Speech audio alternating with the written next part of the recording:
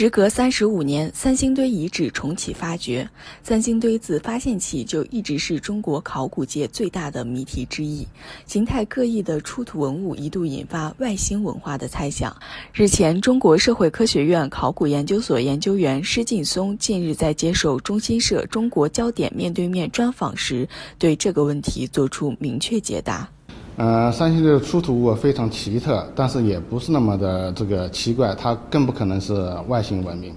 啊，有人之所以这么说，可能是有一个预设的前提，啊，那就是认为古代的文明都是已知的，是单一的。但事实上呢，这个古代文明它是丰富多彩的，啊，而且有很多文明啊还处于这个探索之中。所以我们这个探索的过程啊，也是一个长期的。所以我们不能因为啊，一种文明，呃，它是陌生的或者是未知的，啊，我们就认为它是外星文明。施劲松介绍，三星堆文明有其自身产生发展的谱系，并且与其他文化还存在着交流。具体来说，它是从成都平原的新石器时代晚期的宝洞文化发展而来的。这期间呢，吸收了其他区域的啊文化的一些因素。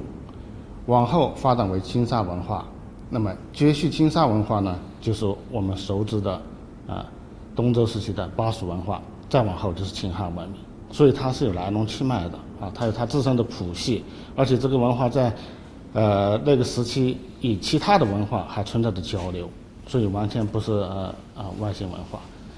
那么为什么就是说人们会提出这样的问题啊？那那我想也可能就是呃呃有人。对考古学、对科学啊，抱有一种希望，认为考古学或者科学能够解答所有的问题。但事实上，不管是考古学也好，科学也好，啊，我们总是面对着新的不确定性。所以我们这个研究、我们探索也是长期的。备受外界关注的铜纵木面具，也一度被认为不像中国人，反倒有些像欧美人。对此，施劲松表示，三星堆发现的人像有一部分比较写实，但大部分反映的是原始宗教信仰。嗯，三星堆发现的这些人像，它都是艺术品。有一部分人像呢是比较写实的，包括它有不同的发饰。那么，即使是这部分人像，它也是有夸张的。或者是形态上的夸张，或者是神态上的夸张等等。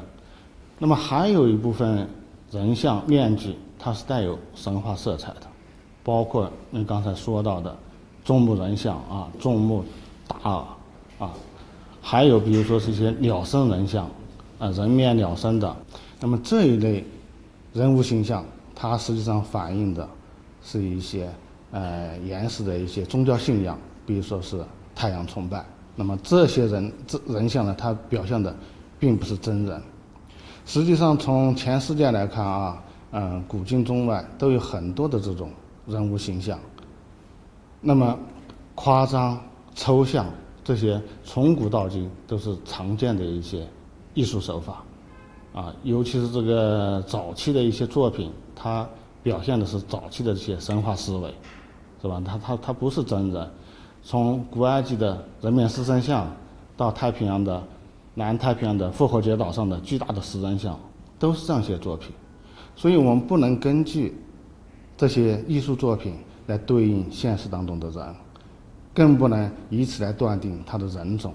所以我认为这呃既不是一个学术问题，也不是科学的研究方法。